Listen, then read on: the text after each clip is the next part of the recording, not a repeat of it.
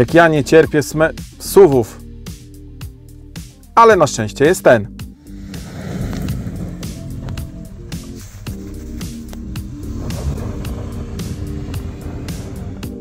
Ten, czyli Mazda CX-5.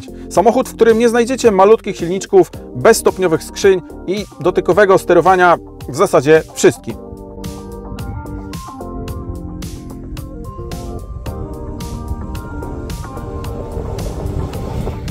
Pytanie jednak, jak auto, które opiera się w zasadzie wszystkim wszechobecnie panującym motoryzacyjnym trendom, spisuje się w 2023 roku. Ciekawi? Zapraszam na test.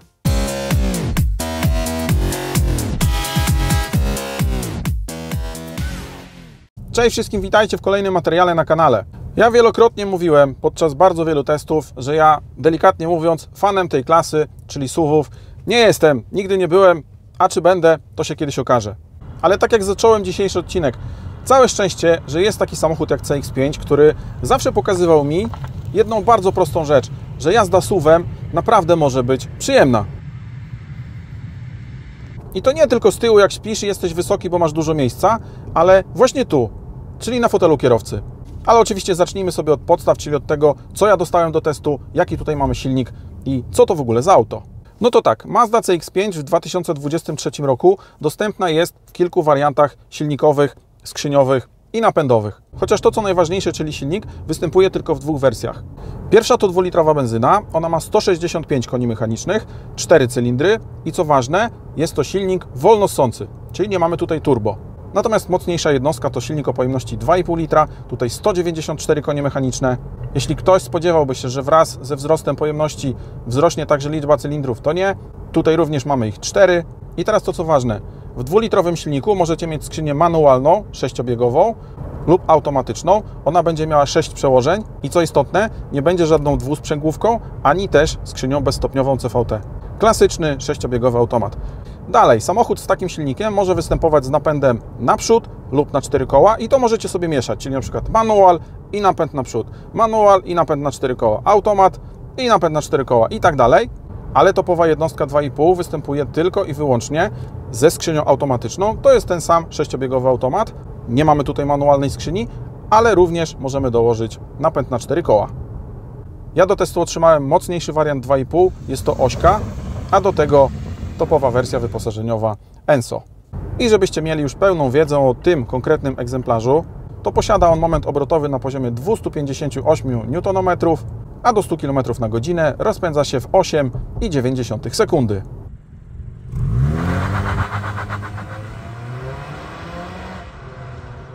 Także formalności mamy za sobą, troszkę się już poznaliśmy. Przejdźmy sobie dalej. I zatrzymajmy się trochę we wnętrzu od tego, jak to jest zrobione, jak ja się tutaj czuję, jak się tym jeździ. No i jeśli szukacie suwa, to na pewno potrzebujecie sporego bagażnika i dość sporo miejsca z tyłu. Jak to tutaj wygląda? Spójrzcie na bagażnik, a ten w CX-5 dysponuje pojemnością 506 litrów. Nie jest to może jakaś ogromna pojemność, ale na przykład na moje potrzeby, na potrzeby mojej rodziny spokojnie by wystarczyło. Ma on podwójną podłogę, tutaj jego klapa sterowana jest oczywiście automatycznie, więc myślę, że pod tym względem jest całkiem ok. Na kanapie, na miejsce, na kolana myślę, że również ciężko będzie narzekać. Jeśli ktoś miałby, nie wiem, 190 cm wzrostu, to może tymi kolanami dotknie do fotela kierowcy, ale ogólnie miejsca jest sporo. Nad głową to już chyba nawet nie ma co wspominać, bo tu jest po prostu potęga. To jest dość wysoki samochód i widać to szczególnie w tym miejscu. Ja przy 182 cm wzrostu dotknąć do dachu nie mam po prostu szans.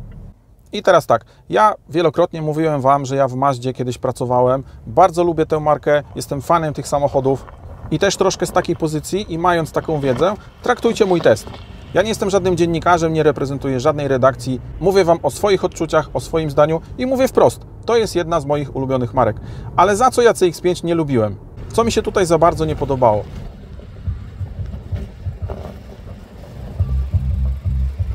Było to już co prawda te parę lat temu, ale na początek to system multimedialny, który był taki jak w szóstce, czyli ogólnie mówiąc dość przestarzały, ze słabą grafiką, wolny, z kamerą, o której nawet nie ma co wspominać. Ogólnie ten system był zły. Dziś CX-5 dysponuje tym, co Mazda 3, Mazda CX-30 czy najnowsza Mazda CX-60, czyli systemem, który jest świetny. Po pierwsze, jakość wyświetlanego obrazu stoi na bardzo wysokim poziomie Tutaj patrzenie w kamerę to sama przyjemność. Nie tak jak było wcześniej, że tak naprawdę od tej samej czynności bolały oczy. Także jest naprawdę ok, bardzo poszli do przodu. Zobaczcie na jedną rzecz. Ten ekran jest dość daleko ode mnie. Musiałbym bardzo wyprostować rękę, żeby do niego sięgnąć. Ale czemu tak się stało? Bo to sięgnięcie nie miałoby zbyt wielkiego sensu, dlatego że nie jest on obsługiwany dotykowo. Wszystko robimy w tym miejscu. I tak, może to się wydawać troszkę trudne, troszkę skomplikowane, może troszkę nienaturalne. Ja jeździłem nową Mazdą 3. Odbierałem taki samochód z salonu, nie będąc przyzwyczajonym do takiej obsługi. Przyzwyczaiłem się do tego w moment. Moim zdaniem tak samo będzie u Was. Jeśli się tego boicie, mówię to do tych osób, bo na pewno takie osoby są, ja o tym dobrze wiem. Także to oczywiście jest kwestia bardzo indywidualna, ale mi to po pewnym czasie tak weszło w krew, że w ogóle na to nie zwracałem uwagi. I stało się to dla mnie po prostu naturalne. Przyzwyczaiłem się tak jak do większości rzeczy, ale naprawdę należy ten system już dziś bardzo pochwalić i zwrócę Wam też uwagę na kamerę, bo tak jak powiedziałem, że wcześniej była tragedia, to teraz jest rewelacja. Raz pod kątem obrazu, dwa pod kątem tego, że mamy szeroki kąt. Wiele razy mówiłem, kamera ma mieć szeroki kąt i tutaj taki ma. No ale tutaj wrzucimy kamyczek do ogródka. Jest oczywiście Android Auto i Apple CarPlay, ale po kablu. Jeśli się nie mylę i mam dobre informacje, to to powinno się zmienić w 2023 roku, ale ten egzemplarz, którym jadę, a ma on przejechane 300 km, czyli bardzo świeży samochód, no to cały czas jest po kablu. Może się troszkę tu zatrzymam. Powiem taką dziwną rzecz. W sumie chyba nie słyszałem, żeby ktoś o tym mówił, ale ja sprzedawałem samochody i miałem kiedyś taką sytuację, że wyjechała klientka z salonu, nie pamiętam czy CX-5, nieważne, to był nowy samochód i za 5 minut zadzwoniła do mnie, że wybiegła z auta, bo samochód się pali. Poczuła po prostu taki zapach, który zasugerował jej, że coś jest nie tak i że za chwilę pojawi się ogień. Dlatego z niego uciekła. To tutaj jedna uwaga do Was. Jak odbieracie nową Mazdę, nie wiem, czy tak samo jest w wielu innych markach, nie będę wymyślał. Odnoszę się do tych samochodów, które ja sam wydawałem i wiele razy to widziałem.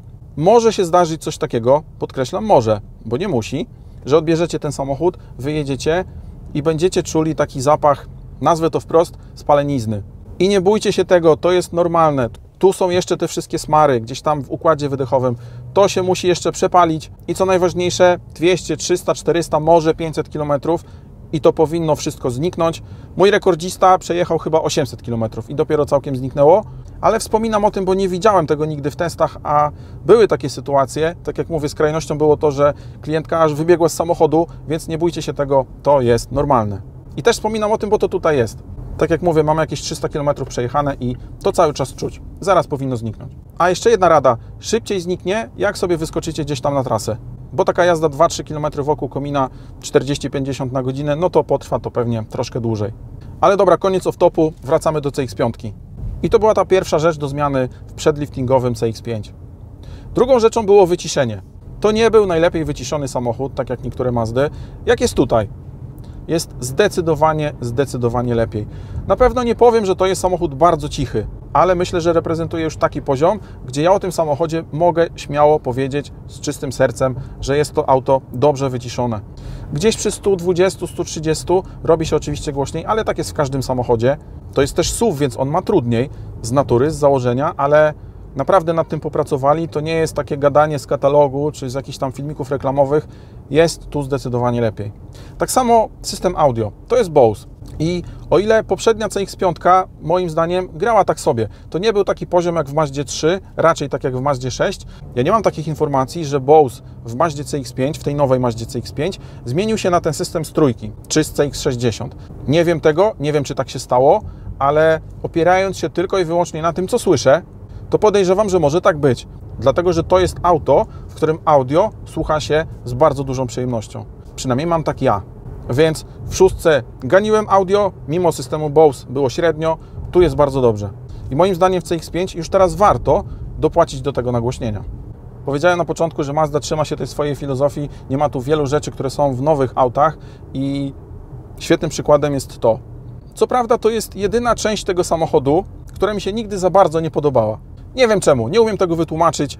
Ja lubię proste rozwiązania, proste designy deski rozdzielczej, tak to nazwijmy, ale nie wiem czemu ja za tym fragmentem nigdy nie przepadałem. Wydawał mi się jakiś taki dziwny.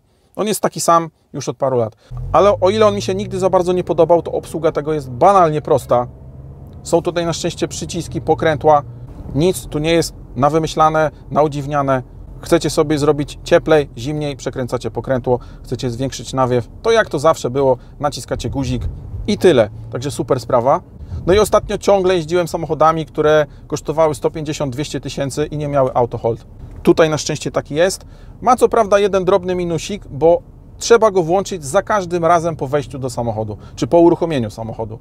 Nie wiem w sumie czemu tak jest. Ja miałem też tak w trójce. Myślałem, że może dzisiaj się to już zmieniło, no ale niestety nie. Za każdym razem trzeba go uruchomić, no ale włączamy, dojeżdżamy do świateł, naciskamy sobie hamulec i możemy odstawić nogę na bok w korku. Genialna rzecz. Tak samo moim zdaniem Mazdy mają jeden z najlepszych head-upów na rynku. On jest prosty, czytelny, widoczny w każdych warunkach. Świetna rzecz. Ja się do tego tak bardzo przyzwyczaiłem, że ciężko mi się dzisiaj jeździ samochodami, które tego nie mają. Także to jest bardzo duży plus Mazdy, nie tylko CX-5. No i zegary. Zobaczcie, jak one są proste. W wersji ENSO ten środkowy jest cyfrowy.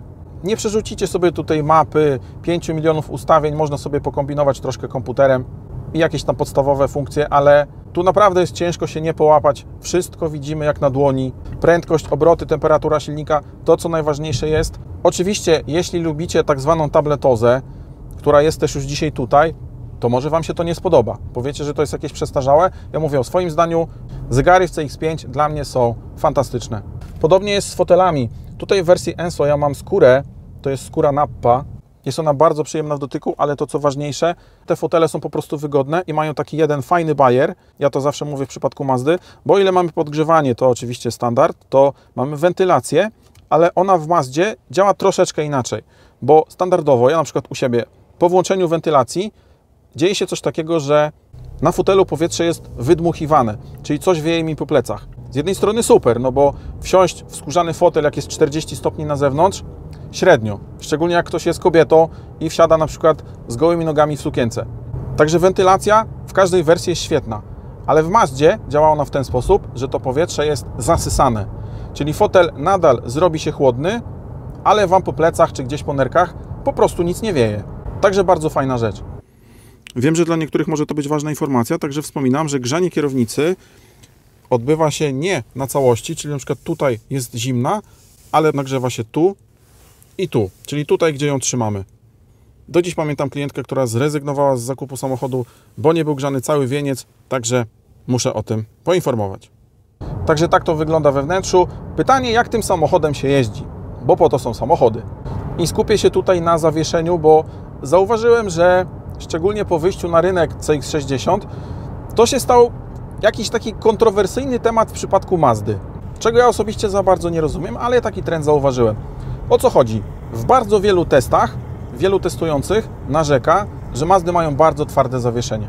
Że tymi samochodami nie jeździ się zbyt komfortowo. Ja takie wypowiedzi oczywiście szanuję.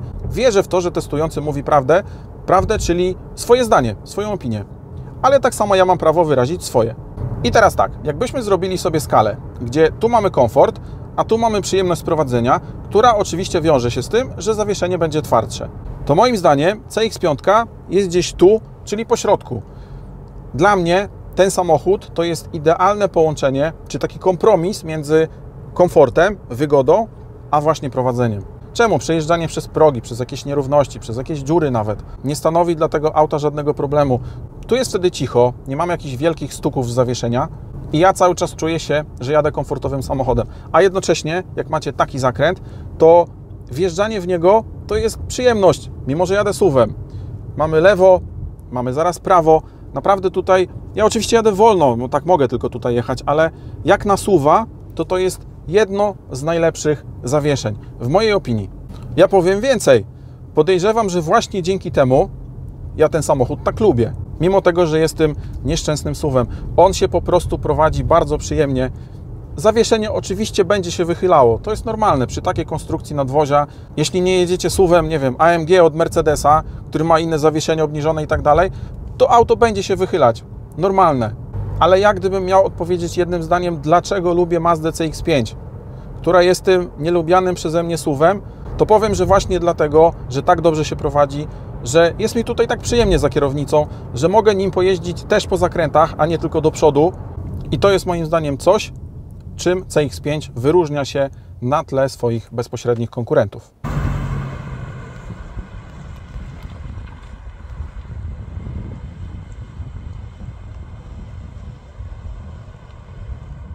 Jeszcze odnośnie jazdy. Mamy tutaj taki przycisk, na którym napisane jest sport i właśnie taki tryb możemy sobie włączyć. Są tutaj tylko dwa, sport i normal. Po jego uruchomieniu ten samochód oczywiście stanie się troszkę bardziej żwawy, ale tak naprawdę dlatego, że będzie po prostu utrzymywał wyższe obroty. I to w zasadzie tyle. Będzie lepsza reakcja na naciśnięcie gazu, no ale właśnie dlatego, że będziecie na wyższych obrotach. Tyle, że powiem też swoje zdanie.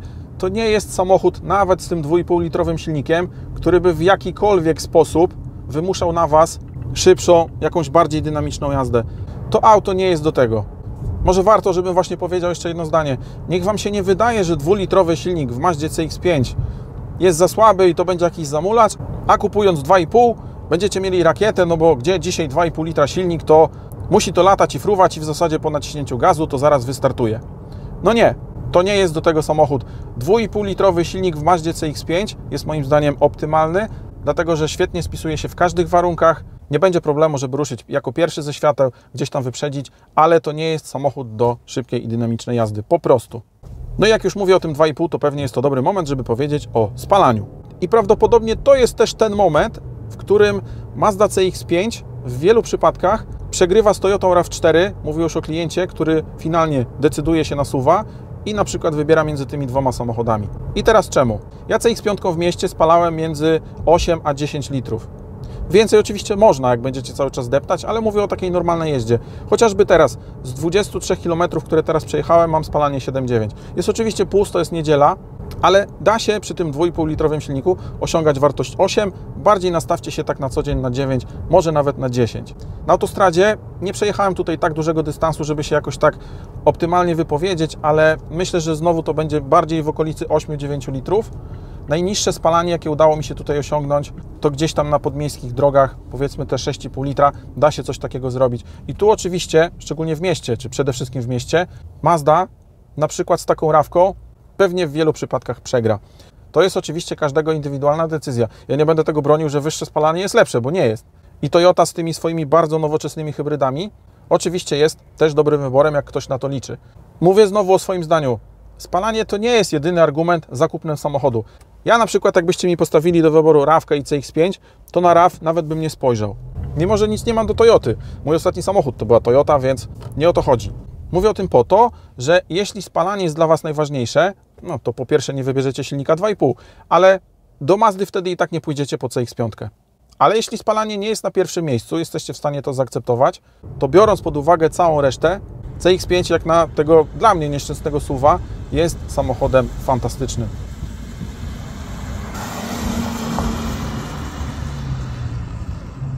Z drugiej strony to spalanie wcale też nie jest jakieś ogromne, bo jak pominiemy jakieś pluginy czy jakieś te najlepsze hybrydy, to spalanie 8-9 w tak dużym samochodzie z silnikiem 2,5 moim zdaniem nie ma tragedii. Pamiętajcie też jedną rzecz odnośnie tego auta, odnośnie tej jednostki, czy tych jednostek, w zasadzie wszystkich w Mazdzie.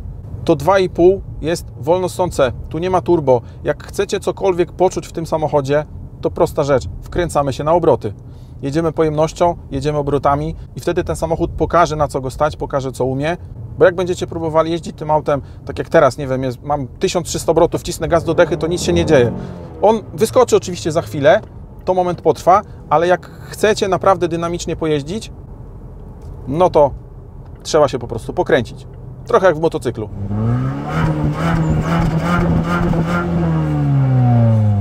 Co fajne, Mazda nie udaje z wydechami, bo te tutaj po pierwsze są, są prawdziwe, nie są to żadne atrapy. Po drugie są dwa, a po trzecie da się je nawet usłyszeć. Na przykład wciskając gaz na postoju, samochód będzie wchodził na obroty. Nie ma tutaj żadnego ogranicznika, jak to już dzisiaj jest często stosowane, więc całkiem spoko.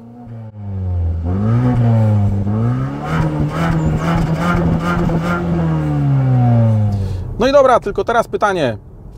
Fantastyczne auto jest? Jest ale ile takie cacko kosztuje? Przede wszystkim zwrócę Wam uwagę, że Mazda CX-5 z roku produkcji 2023 otrzymała nowy cennik i nowe wersje wyposażeniowe, także nie sugerujcie się cennikiem z 2022 roku, a te wspomniane ceny prezentują się tak. Zaczynamy od silnika 2.0 i manualnej skrzyni i ceny takiego samochodu startują z poziomu 150 900 zł.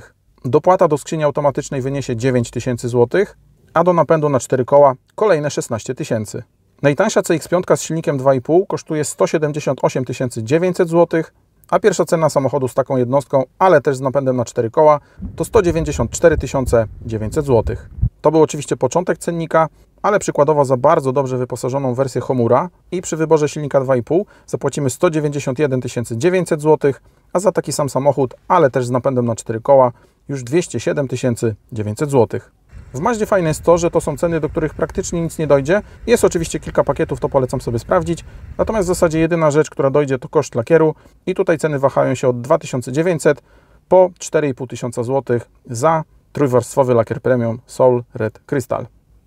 No i tutaj powiem jak zawsze, czy to dobre ceny, czy złe, to odpowiedzcie sobie sami. Ja już tego komentował nie będę, pokazuję jak to dziś wygląda. Ale jeśli mam się odnieść do tego samochodu, do rywali, do tych cen, to powiem tak, zakładając, że te ceny są normalne, no bo są wszędzie, więc stały się czymś normalnym, to, to CX-5 jest jednym z tych samochodów, gdzie wydanie takiej kasy bolałoby mnie najmniej. Ja po prostu lubię ten samochód, bardzo lubię nim jeździć, lubię na niego patrzeć. Nie powiedziałem jeszcze o wyglądzie i też o tym, co zmieniło się po liftingu, bo nie zmieniło się praktycznie nic. Jest troszkę inny zderzak, troszkę inna atrapa. Główna zmiana to moim zdaniem światła, zarówno z przodu, jak i z tyłu. One wyglądają troszkę inaczej. Czy ładniej, czy gorzej niż poprzednio, ciężko mi ocenić. Moim zdaniem i w poprzednim modelu, i w tym wyglądały super. Mi się CX-5 po prostu cały czas bardzo podoba. A jeszcze jedna rzecz, bo nie wiem czemu Mazda tak mało o tym mówi. Ja się też o tym dowiedziałem już po pewnym czasie. Dzisiaj na CX-5 macie 6-letnią gwarancję. Co więcej, to jest pełna fabryczna gwarancja, czyli nie coś takiego, że 3 plus 3. 3-letnia gwarancja fabryczna, a potem 3-letnia gdzieś tam w jakiejś innej zewnętrznej firmie. Nie, 6 lat fabrycznej gwarancji. Super. O, będę przejeżdżał na przykład przez próg. Zobaczcie, jadę sobie 30, przejeżdżam przez niego. Naprawdę no problem. Cicho, nic nie stuka, nic nie puka. Fajna sprawa. No i dobra, na koniec wielkie podziękowania dla warszawskiego dealera, czyli Mazdy Bołtowicz, dzięki której mam okazję po prostu, aby takie samochody Wam pokazywać.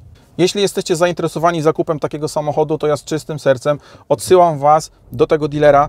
Linki macie w opisie do tego filmu, macie kontakt, macie stronę, macie telefon. Jeśli chcielibyście kupić Mazdę i zależy Wam na bardzo dobrej, takiej indywidualnej obsłudze, to kieruję Was właśnie tam. Na pewno będziecie zadowoleni. Także dzwońcie do chłopaków, możecie się nawet na mnie powołać. I dajcie znać w komentarzach, co sądzicie o Mazdzie CX-5, jak ona Wam się podoba, może taki samochód macie, to podzielcie się swoimi wrażeniami. A ode mnie na dzisiaj byłoby to już tyle. Zachęcam oczywiście do subskrypcji, kliknijcie subskrybuj, kliknijcie ten słynny dzwoneczek, to jest bardzo mała szansa, ale jednak będzie, że YouTube powiadomi Was o kolejnym materiale, który wjechał na mój kanał. I to już naprawdę wszystko. Dzięki, trzymajcie się, cześć!